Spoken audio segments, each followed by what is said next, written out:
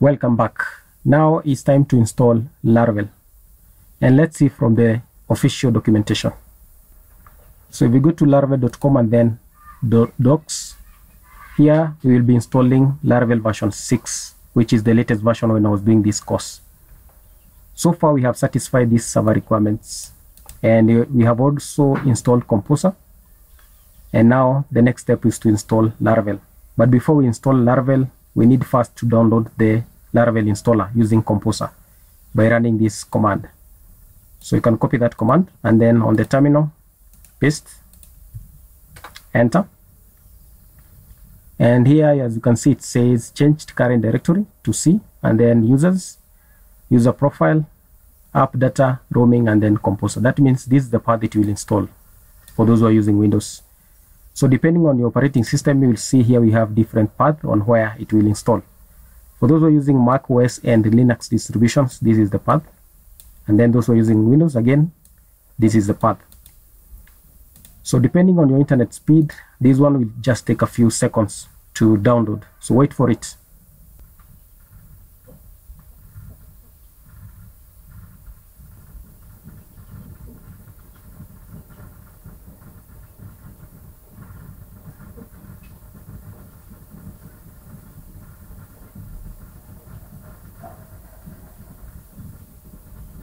So it has completed installing the Laravel installer. Let's see the next step.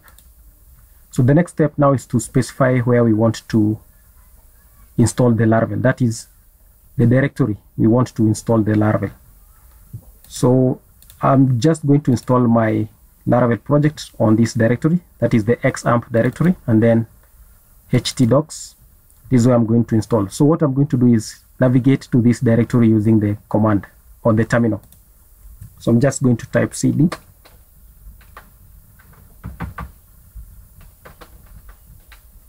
xampp and then htdocs. Enter.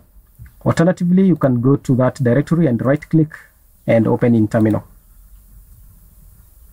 And as you can see, this is the easiest way to do it or to navigate to that directory. Then there are two commands you can use.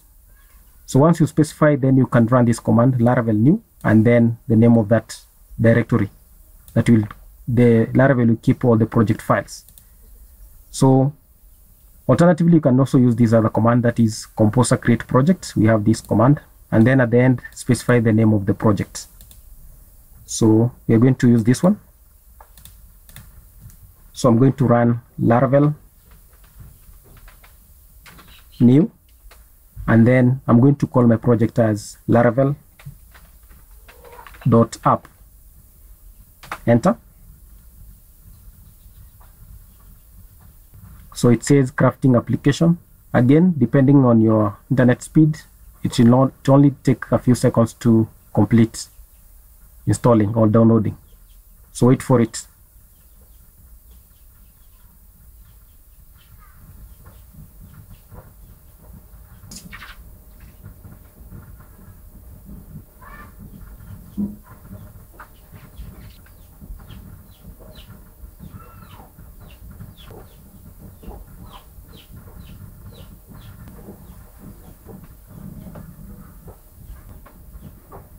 So it has completed installing and it says application ready, build something amazing.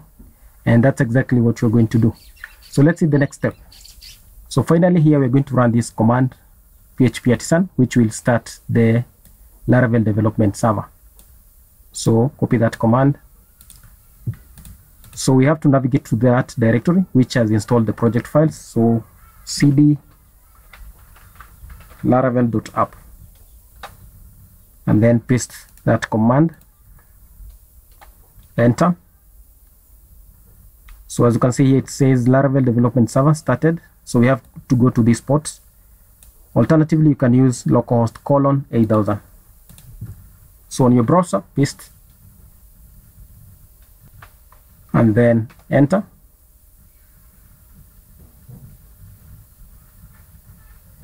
so as you can see now we have this page which is displaying on this spot so laravel so that means now laravel has installed properly So make sure you see this default page for Laravel. So if you don't see this, then it means you have not installed. So to confirm that, we have to go to that hdocs directory and make sure we have this laravel.app.